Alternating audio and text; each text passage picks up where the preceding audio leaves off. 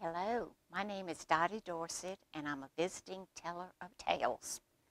Today, I would like to read a book that I have read quite a number of times to my grandchildren. It is called Bear's Loose Tooth. It's written by Karma Wilson, and it's illustrated by Jane Chapman.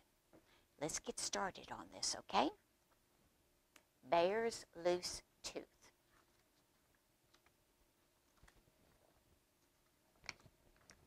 From a cave in the forest came a munch, munch, crunch, as Bear and his friends all nibbled their lunch. And Bear does have a lot of friends. If you'll notice, there's a rabbit, there's a bird, there is a badger, looks like a gopher, and I don't know, I think that's another bird over here. Your guess is as good as mine. Bear savored every bite. He gulped, he gobbled, and then there in his mouth something wiggled and it wobbled. As Bear nibbled food, something moved when he chewed. It was Bear's loose tooth. Have you all had ever had a loose tooth? Have you lost a tooth? Well, this is going to help you to understand what goes on. Bear pointed in his mouth and he said, Oh dear, my tooth feels funny. It's the one right here. Bear frowned and he worried. Tears welled in his eyes. But how will I eat if my tooth says goodbye? Do you think Bear was scared? I think he was. But that's okay.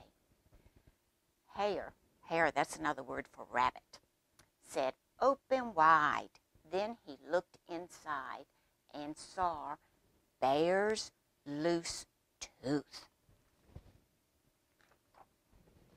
Mouse squeaked, Don't fret, don't fuss, look, see? A new tooth will grow where the old used to be. We'll help, said Wren. Wren's this bird. Now, it's nice to have friends because they will help you when you need help. I know what to do. It's out with the old and in with the new. Wren perched on Bear's lip and he got a good grip on Bear's loose tooth. Wren pulled on the tooth with all of his might. Is it out? asked. But it stayed stuck tight. I'm a bit too small for the job, said Wren, so I'll grab the tooth. Owl's a little bit bigger than Wren, but the tooth stayed in.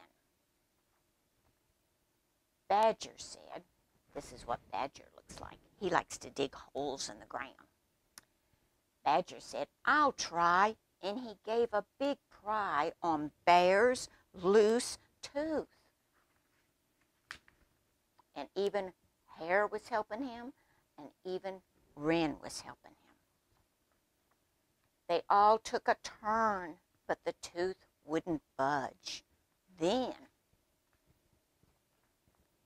Bear used his tongue and he gave a little nudge. His tooth wiggled to and fro. Then what do you know? Bear's tooth fell out. And this is what it looked like. That's a big tooth. I'm glad I don't have a tooth that big in my mouth. Bear danced a big dance. Bear grinned a big grin. Bear held up his tooth and he showed all his friends. Bear looked in the mirror and he laughed at his smile. A new tooth would come, but it might take a while. That night in bed, Bear, right next to his head, lay Bear's loose tooth. Can you see it on that plate right next to his head? While he slept and he snored, a fairy fluttered in. Oh my, that's what a tooth fairy must look like, don't you think? The fairy fluttered in and she left blueberries where Bear's tooth had been.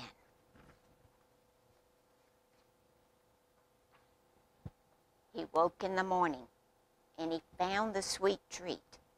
Bear's friends came for breakfast. They sat down to eat. Bear gulped and he gobbled and he felt something wobble. Uh oh. Bear had another loose tooth. Now, I know that is very, very scary to lose a tooth, but that means that you are growing up. I hope you enjoyed this book. I would love it if you would come to the library. There are lots of books to read. You can learn so much, and I hope you will always continue to read, read, read. This is the Visiting Teller of Tales.